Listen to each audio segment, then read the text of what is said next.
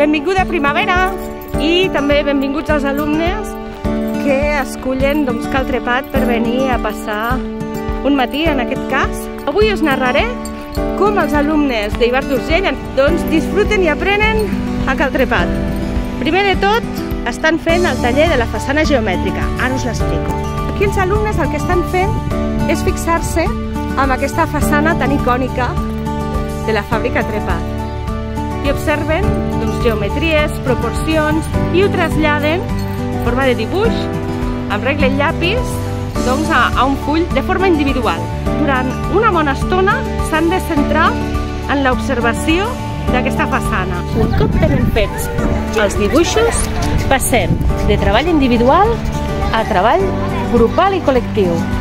Que el repte és escollir un sol dibuix i passar-lo a proporcions doncs, molt més grans al terra. Ells mateixos s'han de gestionar el material, coordinar i ampliar aquell dibuix i crear amb les mides del seu propi cos doncs, aquesta coherència geomètrica que la façana de Caltrepat té.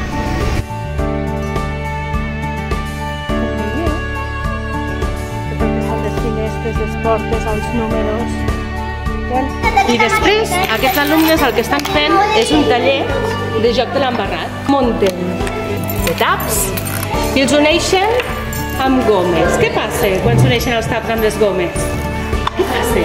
Pues que eh, si un fa veu, fa que es gire mm -hmm. i ho heu col·locat bé, potser els altres també giraran. Com per exemple, jo he col·locat aquests dos junts Sí. i d'aquestos quatre que estan ajuntats, Sí. els he juntat amb aquests dos i he volgut afegir aquestes gomes com un I jo ara estan rodant. Sí, sí, sí. Jo només he agafat aquestos i si moc aquests se mouen els dos. Dispararà.